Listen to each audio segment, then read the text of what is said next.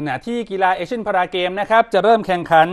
22 ตุลาคมนี้ แต่ว่าล่าสุดเกาหลีเหนือถอนตัวนะครับ เพราะว่าโดนวาด้าแบนธงชาติวาด้านี่เป็นหน่วยงานที่ตรวจเรื่องของสารกระตุ้นค่ะเกาหลีเหนือครับ ประกาศถอนตัวจากเอเชียนพาราเกม จะเริ่มแล้วนะวันอาทิตย์นี้อืมนะก็22 ตุลาคมนะครับค่ะอืมก็สำหรับการแข่งขันเอเชียนเกมนี้นะครับอ่าพาราเกม โดยทางเกาหลีเหนือเนี่ยคือทำผิดกฎนะคะของทางวาด้า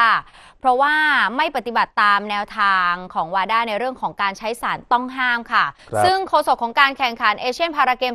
2023 นะคะ ก็ได้ยืนยันว่าเกาหลีเหนือ ถอนตัวจากการแข่งขันแล้วเรียบร้อยอืมตัดสินใจหลังจากที่มีบทลงโทษของวาด้าก็ทำให้นะคะหลายคนเนี่ยเสียใจเหมือนกันนะครับ เพราะว่าตอนเอเชียนเกมเนี่ย เกาหลีเหนือก็เข้าร่วมการแข่งขันค่ะต่อพา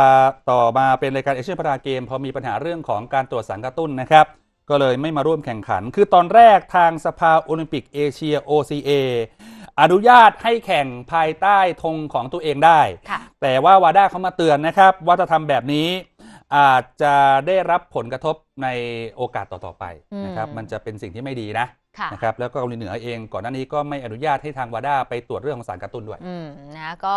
ยังไงก็ตามค่ะ สภาโอลิมปิกแห่งเอเชีย หรือว่า OCA เนี่ยได้อนุญาตให้เกาหลีเหนือแข่งขันภายใต้ธงชาติของตัวเองได้แล้วนะคะครับแต่วาด้าเนี่ยก็ใช่มีการเตือนด้วยอืมทำแบบนี้อาจจะได้รับผลกระทบนั่นคเอรับงนะครับ